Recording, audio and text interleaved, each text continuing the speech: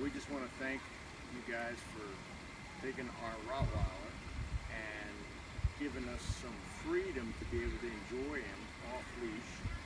Uh, certainly, in a matter of two weeks, he's come a long way, and we've had him for two years.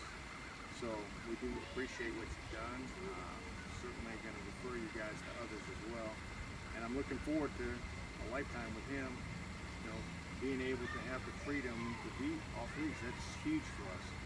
We've tried to take him on trips before, and it wasn't unpleasant for anybody because he just pulls up the leash, pretty strong.